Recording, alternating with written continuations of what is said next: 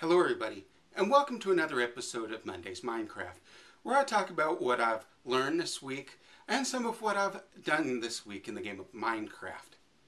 One thing that I've learned, which is pretty interesting, is that the game Minecraft will be coming to the 360 at some time in the future.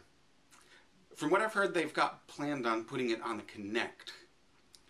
Now, one thing I would have to say personally if they put it on the Kinect, which I don't personally like the idea of it being a Kinect game, it should be a control-based game. But at least have the option to where you don't have to play it with the Kinect. Because do you really want to go through that motion of mining blocks so you can build a house? It's, in my opinion, just not going to work that way. But anyway, I've been reading the forums and there are a lot of people out there that are wailing and gnashing their teeth about the fact that it would be put on the 360. Now I want to address this a little bit. Now why are these people bitching about it? It seems to me to be a little case of elitism. It's like, okay, we have the game on our system. We don't want anybody else to have it because that'll reduce the purity of the game. What? No, no, no, no, no. And they're complaining about the 360 people. Well, we don't want them to get on the forum. They'll ruin the forums.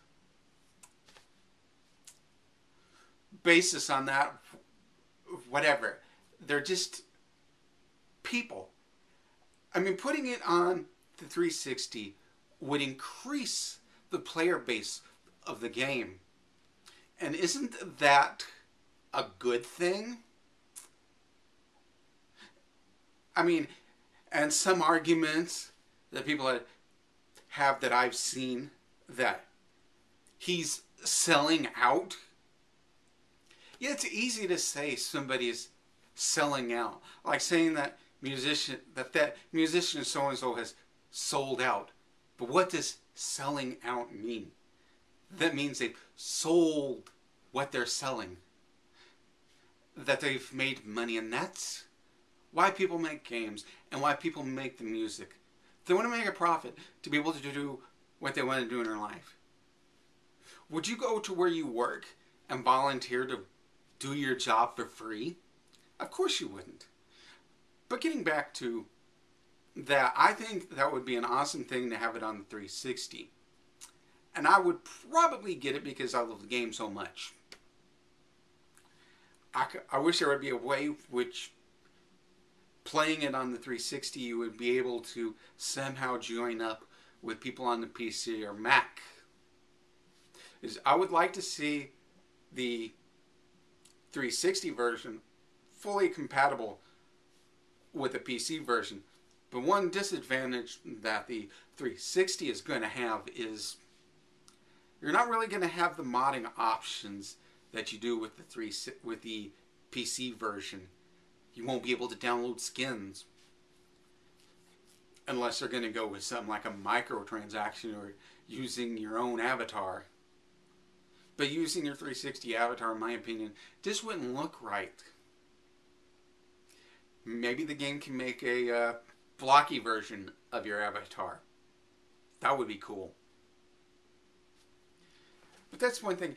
And, you know, lately, I've been working uh, further on on clearing the trees on my Japan Memorial project.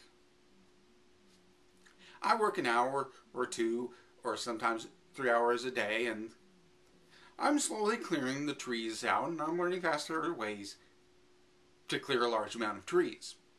And if any of you have any tips or ideas on how to clear a large amount of trees, please share them below. But one thing I gotta mention, I'm not gonna use any hacks because, I mean not hacks, or mods for because I want my game to be pure vanilla. And any of your thoughts on that, please share below. And as always, have fun and keep gaming.